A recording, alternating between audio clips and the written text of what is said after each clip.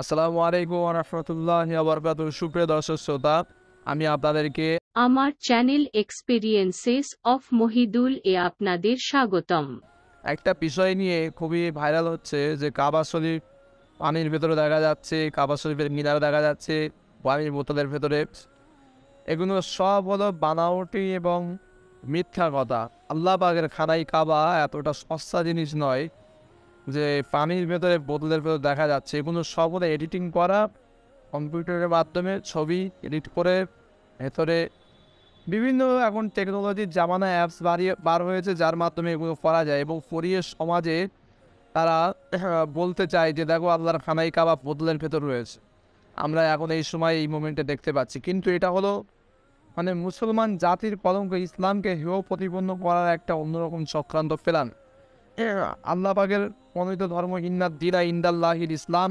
আর কাবা শরীফ হলো ইসলামের আর একটা পার্ট যাকে কেন্দ্র করে হজ মুবারক হয়। তো সেই জন্য বলব, ধর্মপ্রাণ মুসলমান যারা প্রকৃত আল্লাহ আল্লাহ রসুলকে বিশ্বাস করে, পানির বোতলের ভেতরে কাবা শরীফ, বোতল, পানির বোতলের ভেতরে দেখা যাক। আর বাইরে দেখা যায়, এটা বড় বিষয় নয়, আপনি আল্লাহর খানাই কাবাকে মানেন কিনা, সম্মান করেন কিনা।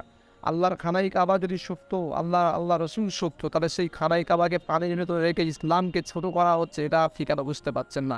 কেন আল্লাহর খানাই কাবা তো পানির বোতলের ভেতরে সীমাবদ্ধ নয়?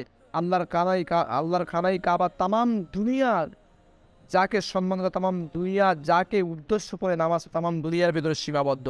আল্লাহ পাক রব্বুল আল আমিন খানাই কাবার ভিতরে যে হাজারে আসত পাথরটা যে পাথরটা জান্নাতি পাথর। আর এই জান্নাতি পাথরের পুরা তামাম পৃথিবীর জমিনে যেখানে যেখানে যেখানে যেখানে পড়বে সেই সমস্ত জায়গায় আল্লাহ পাক রব্বুল আল আমিন এক একটা করে মসজিদ তৈরি করে বাইতুল্লাহ। আর এই বাইতুল্লাহ শ্রেষ্ঠ বাইতুল্লাহ হলো খানাই কাবা। তাহলে আপনি বলুন, কি করে আল্লাহ পাকের খানাই কাবাকে বাইক পানির ভিতরে দেখা যায়? নাউস বিল্লাহি জালেক সমাজে কিছু অসৎ চরিত্রের দুষ্ট, চরিত্রের লোক যারা ইসলামের কলঙ্ক মুসলমান নামধারী হলেও ইসলামের কলঙ্কা। সমাজে কিছু মানুষ যারা টাকা পয়সা দিয়ে ইহুদিদের দালাল, খ্রিস্টানদের দালাল যারা ইসলামকে কলঙ্ক লেফন করার জন্য টাকা পয়সা দিয়ে এই রকম কর্মকাণ্ড কাদোয়া পৃথিবী চালাচ্ছে? আমি আপনাদেরকে বলব, আপনারা এ থেকে সাবধান হন। আল্লাহ পাকের মহিদ ধর্ম হলো ইসলাম। ইসলাম কোনোদিন ছোট নয়। ইসলাম যার ধর্ম তার কাছে ভালো লাগুন, দিনুকুম অলিয়া দিন। প্রত্যেকের ধর্ম প্রত্যেকের কাছে ভালো, আমার ধর্ম আমার কাছে ভালো। কিন্তু আমি যখন মুসলমান, আমার কাছে সবচাইতে আমার শ্রেষ্ঠ ধর্ম আমার ইসলাম। আর ইসলামকে ছোট মনে ভাববেন না বা ছোট যারা করছে, আল্লাহ তাদের বিচার করবে। প্রত্যেককে বলবে এই সমস্ত ভ্রান্ত মতবাদ থেকে এবং ভ্রান্ত প্রচলন থেকে সাবধান থাকুন ইমার ইসলামের বাইরে থাকুন। রমজান শরীফ মাস চলছে, বেশি বেশি করে দরুদ শরীফ, কলবা শরীফ, সুরা ফাতেহা শরীফ এগলাস শরীফ আয়তাল কুরসি সুরাই ইয়াসিন সুরাই মুল সুরাই রহমান, কোরআন পাক তেলাত করুন তারাবি নামাজ পড়ুন, শরিয়াতের হুকুম মোতাবেক চলাফেরা করবেন। নিজেরা পড়ুন এবং নিজেদের মা বোনকে পর্দায় চলা তাদের চলে, তারা নামাজ কালাম পড়ে, সেদিকে আহ্বান করুন। গুণ ভ্রান্তির পরে যাবেন না। ইসলাম কেটে ছিনিমিনি খেলছে একদল সন্ত্রাস।